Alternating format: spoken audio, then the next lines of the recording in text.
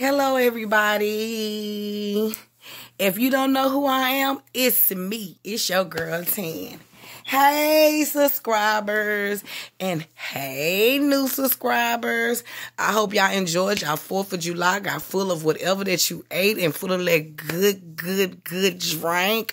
Soda, water, beer, vodka, hen, whatever suits your fancy. I know I did, and I'm still feeling the effects. But anyway, I got on here today because I found out last night that Tracie Wagaman, which played on Life after lockup, has passed on at the age of 41 or 42. They're not sure of her age.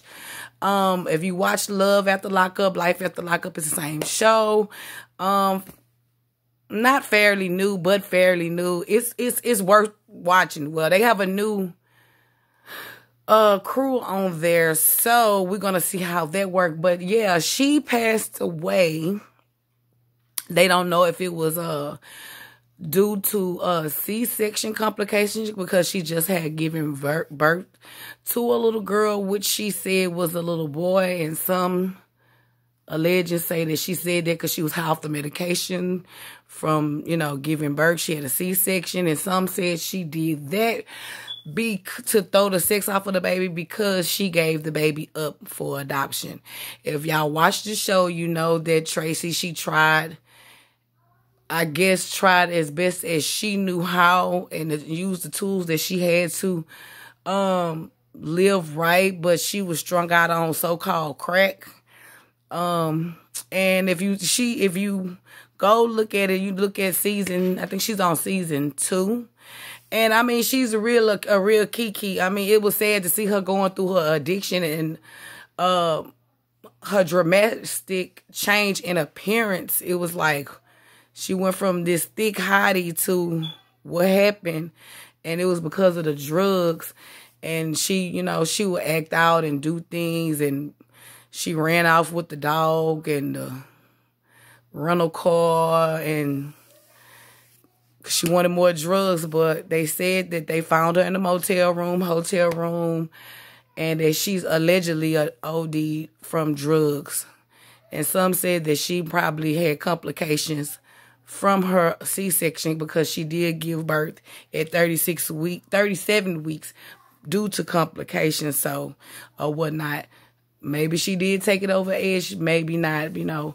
But at least she was able enough to keep clean to bring this. Hopefully the baby did come out clean.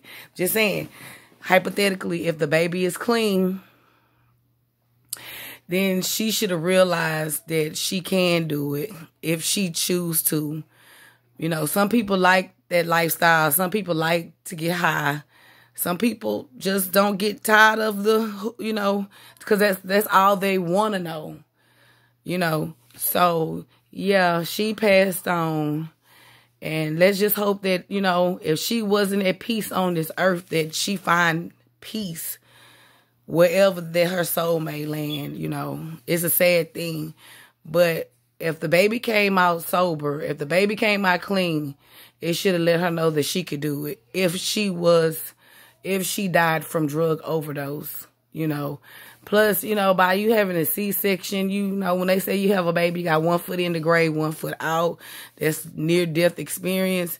It, you know, considering all the medications and stuff like that, it probably wasn't in her best interest to go right back and start, you know, doing what she normally do, you know.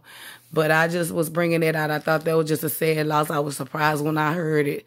I was just like, wow, you know. But, you know, I was hoping the best for her. I, I was hoping, since I heard that she was pregnant, that um, she had got herself together, you know. And like I said, she made it through the entire pregnancy.